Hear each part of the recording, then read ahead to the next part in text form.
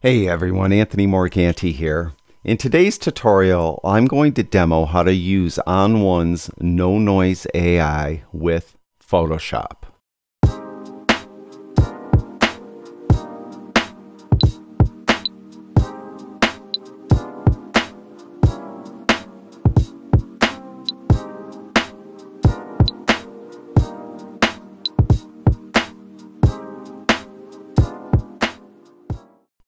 All right, the first thing you need to do is load an image into Photoshop. Then duplicate the background layer by hitting Command or Control J on your computer.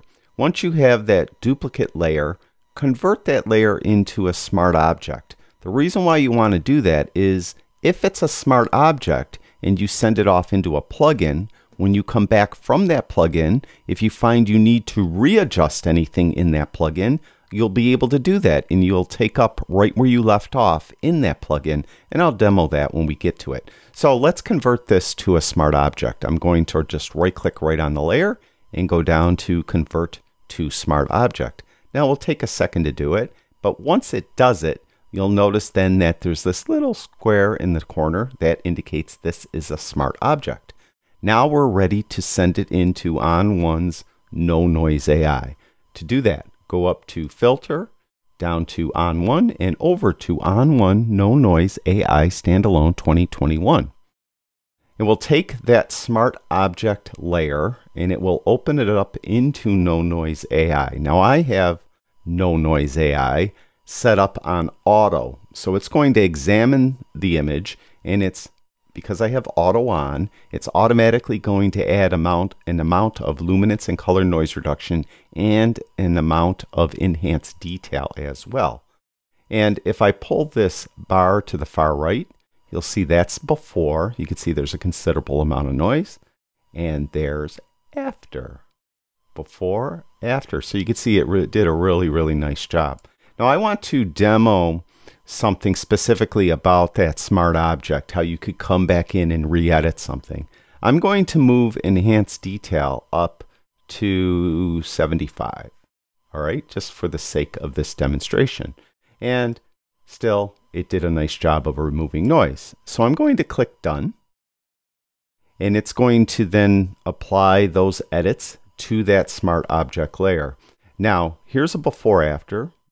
There's before and there's after. Now, if you're looking at it in a video that might not be at the most perfect resolution, when I click on that, you're going to notice that the before looks a little lighter, doesn't it? And when I click on the after, it's a little darker.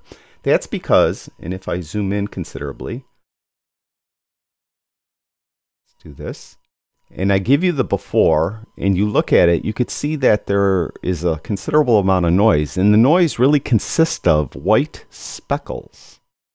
Once I removed the noise, it removed the white speckles. So it, in effect, looks darker. So No Noise AI didn't add contrast. It didn't uh, like move a black slider arbitrarily to make it darker or move shadows up or anything like that. It just removed those white speckles. And when it did that, it makes it look a little darker. But it kind of shows you it's working, I guess. So it did a really nice job.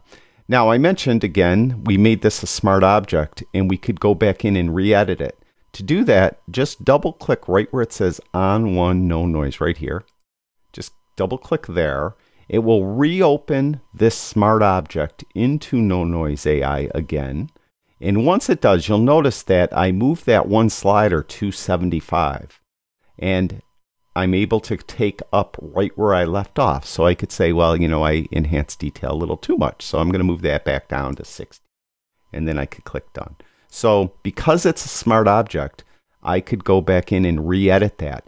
If it wasn't a smart object and I went back into No Noise AI, no Noise AI just thinks it's a layer that needs noise reduction done to it, and it's just going to apply noise reduction on it.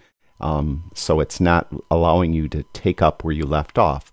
Also, when you do a smart object, it automatically has a mask in it. So if I wanted to mask out the noise reduction from a specific area, I could then get a brush tool, make sure I'm clicked on the mask, paint in black, and I could like paint away the noise reduction on certain area. I didn't really want to do that, but that's the advantage of using the mask with that smart object layer.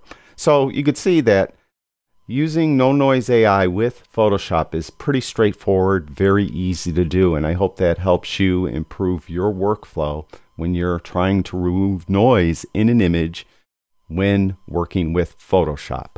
Thank you, everyone who watches my videos. I really do appreciate it. I'll talk to you guys soon.